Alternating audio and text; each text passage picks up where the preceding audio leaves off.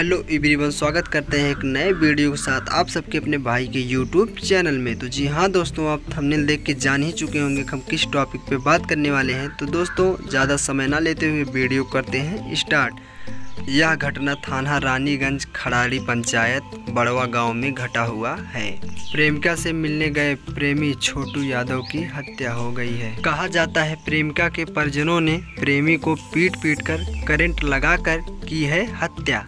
प्रेमी की हत्या के बाद मृतक के पिता ने दी प्रेमिका को आसरा। कहा जाता है कि तुम्हारी भी जान का खतरा है, क्योंकि जिस समय मृतक छोटू यादव की हत्या हुई है और तुम्हारी भी जान की रची जा रही है साजिश, और प्रेमिका की हत्या की साजिश रची गई थी। प्रेमिका आरती कुमारी के शरीर में भी मारपीट का जख्म दिखाई पड़ रहा है। वह तो मृतक के पिता और ग्रामीण स्थल पर पहुँच गए और प्रेमिका की बची जान। और सभी के मुँह से यही निकल रहा है। दो हंसों का जोड़ा बिछड़ गयो रे, गजब हुई रमा, जुनून भयो रे। मारपीट के बाद प्रेमी का दर्द बड़ी ही मुश्किल से सह पा रही है आरती कुमारी। मुश्किल से मृतक के परिजनों के बीच में कुछ देर तो वह शांत रह पाती है, लेकिन वो नहीं संभाल पाती अपने आप को।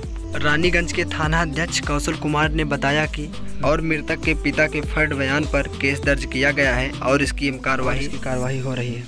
और इसी बीच रविकांत यादव को जेल भेज दिया गया है।